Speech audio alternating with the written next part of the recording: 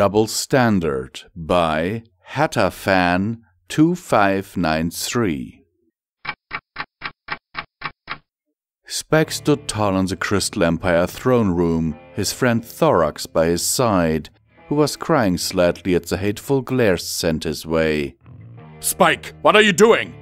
Shining Armor cried in angry disbelief. Get away from that thing!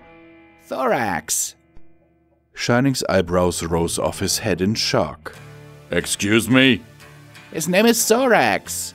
Spike said calmly, turning to smile at the changeling. And he's my friend. Every pony in the room gave a collective gasp. Spike, have you lost your mind? Shining shouted. It's a changeling, a parasitic monster! Spike glared at his surrogate brother. He had known Shining almost as long as he had known Twilight, which was since he was a hatchling. He knew how stubborn Shining was. Once he had gotten an idea in his head, it was almost impossible to get him to let go of it. If he was going to convince him that Thorax wasn't a threat, he'd have to appeal to his sense of logic. Shining, what do you think of dragons? Shining blinked in surprise at the sudden question. What? Spike shrugged. It's a simple question, Shining. What do you think of dragons? Spike, what does that have to do with anything? Princess Cadance asked, confused. A lot, actually. Spike said calmly, then turned to address the entire room. For those who don't know, dragons are dangerous. They're big, they're rude, and they can breathe fire. They're also very greedy, and the more treasure they hoard, the more powerful they become. They're almost impossible to stop. The crystal guards exchanged nervous glances. But, uh, brave and glorious one, you're a. A dragon, yes, Spike said. And a baby one at that. But there was an incident a year ago where I actually transformed and nearly destroyed all of Ponyville. I allowed myself to be consumed by my greed and nearly hurt a lot of ponies, including my friends. Spike let this fact sink in before continuing. And that's just as a baby. Imagine what kind of damage I can cause as an adult. Spike, that's different. Twilight cried.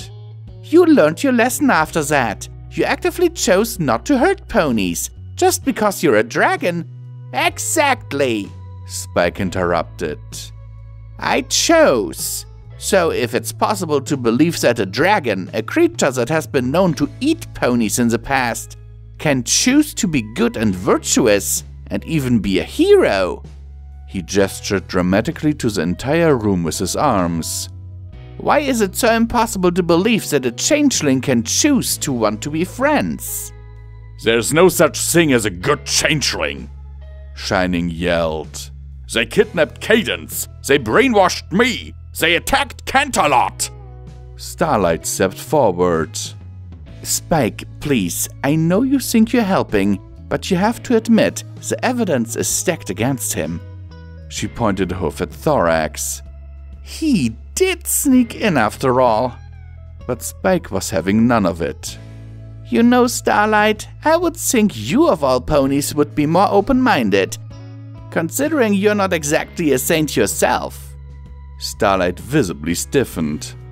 Twilight glared sternly. Spike, this is not the time or the place. No! Spike yelled, stamping his foot. Every pony went quiet in shock. She opened this door. He pointed accusingly at Starlight. I will defend my friend and my position. He turned to the entire room. Several months ago, Starlight Glimmer broke into Twilight's castle and used the magic scroll and the map to alter the timeline, making it so Twilight and the others never became friends, never became the bearers of the elements of harmony. The room, save for Sunburst and Twilight, collectively gasped and turned to look at Starlight. Even the ponies of the Crystal Empire knew how important the elements were. Spike didn't relent. I was there. Each future me and Twilight visited was worse than the last. Every possible bad outcome you could think of, we saw it. Sombra, Nightmare Moon, Chrysalis, Discord, T-Rex!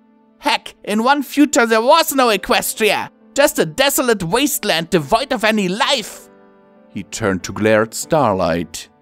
An entire nation destroyed, ponies' lives ruined, friendships broken, all because one unicorn couldn't get over the fact that her friend moved away. Starlight? Sunburst asked quietly. He knew that Starlight had done some bad things during their years apart, but he didn't realize it was this bad. Starlight hung her head in shame. It's true. I wanted to hurt Twilight like I thought she'd hurt me. I. She wiped her eye furiously. I don't know what I wanted. Spike's gaze softened as he turned back to Shining Armor. In the grand scheme of things, Starlight has done far worse than Chrysalis and her army has ever done. But we forgave her. She proved that she was willing to change and make friends. So why can't you give Thorax the same chance? Shining set his jaw. He's a changeling, Spike. But he didn't sound so sure as before. Spike noticed this. Just one more push. So you're determined to judge him solely for his race, something he has no control over? You're a lot of things, Shining Armor, but I never took you for a bigot.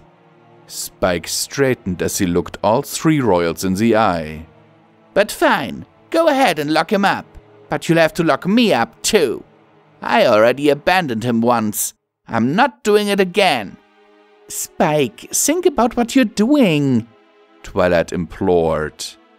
I have, Spike said. You always taught me to stand up for what I believe in. He moved to Thorax's side and placed a scaly hand on his neck. And I believe in Thorax. He turned to Shining and mentally dug his heels in. So, what's it gonna be? One guard turned unsure to Shining. Your Majesty? Shining glared at the two neither he nor Spike backing down for several minutes. Finally, Shining gave a loud sigh and said gruffly, Stand down. The guards obeyed their prince, several looking relieved that they wouldn't have to throw their savior in the dungeon. Shining slowly walked over to the baby dragon and changeling and glared at Thorax. I don't trust you. Thorax merely nodded sadly. I know, Shining's gaze softened ever slightly. But I do trust Spike. And if he's willing to give you a chance, I guess I am too. Thorax relaxed and gave a smile. Thank you, Your Majesty. Cadance came to stand next to her husband. She spoke with authority. That being said, we can't just let you roam freely. If you want our trust, you're going to have to earn it. Thorax bowed respectfully. That's all I want, your majesties. A chance. He turned to Spike. Thank you, friend, for everything. Spike smiled back. Don't mention it.